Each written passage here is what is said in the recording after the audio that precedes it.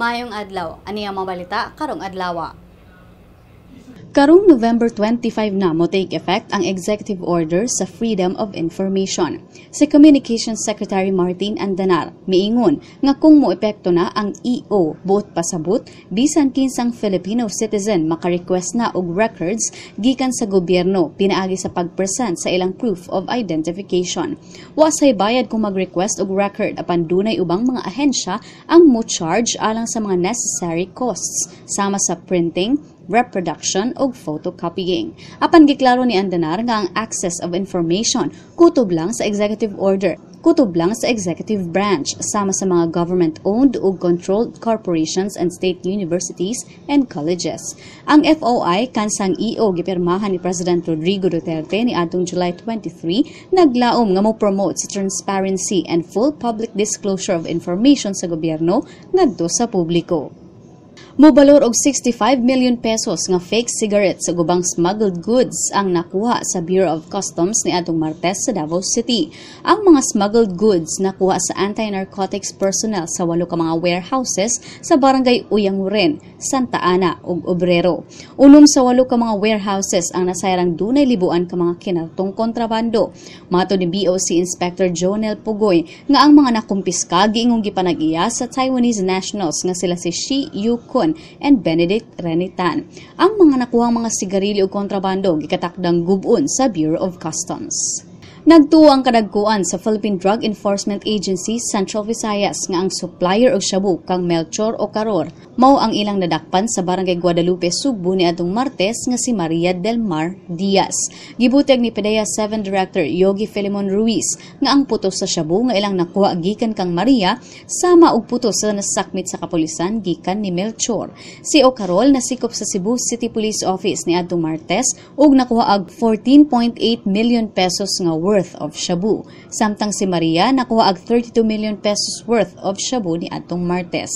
Si Ruiz niingon nga ang drogas gikan kang Maria iya sa mga drug lords sa National Bilibid Prison sa Muntinlupa City. Ug si Maria maoy hagbunganan sa drogas, tigtago ug mubahig niini alang sa mga customer. Ning pagbalita gipangita na sa kapulisan ang kapuyo ni Maria kinsa ilang gituhuan nga nalambigit sab sa drug trade. President Rodrigo Duterte ug ubang world leaders mi congratulate ni United States President-elect Donald Trump. Matod ni Duterte nga daghan silag similarities ni Trump, particularly on the way they both use profanity-laced statements in their speeches. Lakip sa mi congratulate ni Trump mao si Mexican President Enrique Peña Nieto.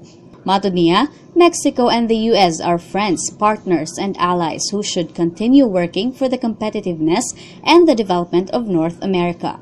Si European Council President Donald Tusk miingon nga ang Europe ligon og reliable partner and will remain so. We expect the same from America and its new president. Sa iyang Twitter account, si Canadian Prime Minister Justin Trudeau misaad nga motrabaho kauban si Trump in a positive way. Si Russian President Vladimir Putin sa Russia Today gikatahong mi-congratulate sab kang Trump ug mipahibaw nga confident siyang makig-istorya sa Moscow and Washington alang sa interes sa Russia o US. Mga higala, here are the latest news in Bacolod, Baguio, Pampanga, Cagayan de Oro, Davao, Superbalita Davao, Cebu, and Superbalita Cebu.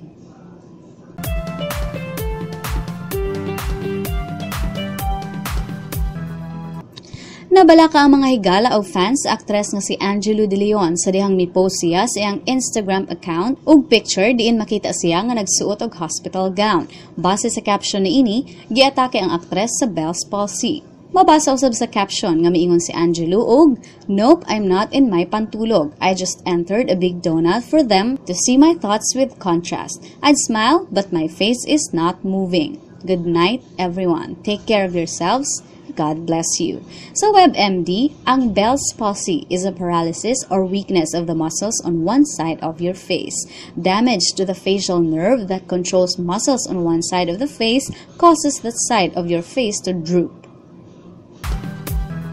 Gidepensa ni Luis Manzano ang iyang rumored girlfriend Jessie Mendiola human gikuninitan sa mga bashers sa iyang tubag sa usa ka interview ni adtong Star Magic Ball diin miingon si Jessie og what am I to say to that? Ni adtong Martes nagpost si Jessie sa iyang Instagram account og photo niya diin mi comment ang iyang mga bashers sa giingong wrong grammar nga tubag ni Jessie. Daling naka-comment usab si Luis diin miingon siya nga grammatically correct ang giingon ni Jessie.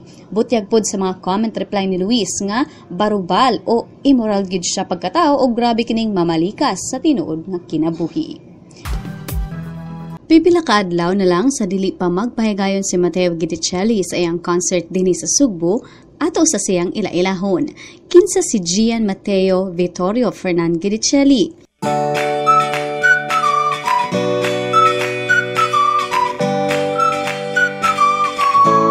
Si Mateo, anak ni Gian Luca, usa ka Italian, and ni Glenna Fernan, usa ka Pinoy. Unang nailhan si Mateo nga usa ka racer at an early age of 11. Aduna na siya mga awards, lakip ang Carter of the Year Award. Nagka-interes siya sa acting, human siya mipaubos og workshops sa New York Academy ug sa iyang pagbalik sa Pilipinas, mikuha kinig theater courses sa Brent International School ug miapil og mga plays. Mitunga usab siya sa Columbia College in Chicago, stud sa duha ka tuig aron makuhag Bachelor of Arts in Performing Arts in the field of musical theater. Nakauban na ni Mateo ang pipila ka mga sikat nga artista sama sa subuan ng si Kim Chu sa My Binondo Girl ni atong 2011 ug ang sikat nga Liz Can Love Team o Liza Soberano and Enrique Hill sa baguhay lang nahuman nga primetime series na Dolce Amore. Gawa sa acting, maayo sa mukanta si Mateo.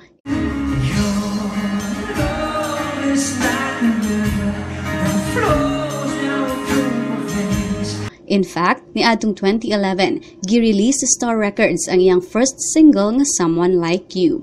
Ni atong January 17, 2016, gi-launch ni Mateo ang iyang first album, self-titled Mateo Giricelli. Karong November 18, gikataktang magpahigayon si Mateo sa iyang Mateo Made in Cebu concert sa Waterfront Hotel and Casino sa Lahug. Kiniaron pag-celebrar sa iyang 10th year anniversary sa showbiz industry ug paghatag og tribute sa Sugbo diin siya gikan. Sa diyang gipangutana siya kung unsa nga mga Cebuano values ang nagpabilin kaniya iyang tubag. All my life lessons I've learned from my life until today that I'm 26 years old, I think I've learned it from my friends during racing.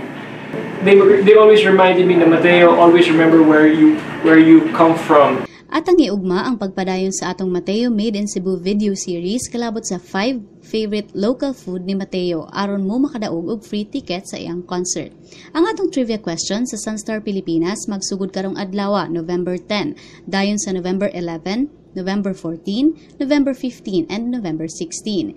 We will give one free ticket sa makatubag sa pangutana for November 10. Two tickets sa makatubag sa trivia question sa November 11. Laing duha ka tickets sa November 14, November 15, and November 16. I-comment lang ang inyong tubag sa among trivia question teaser post aron maapil sa raffle draw.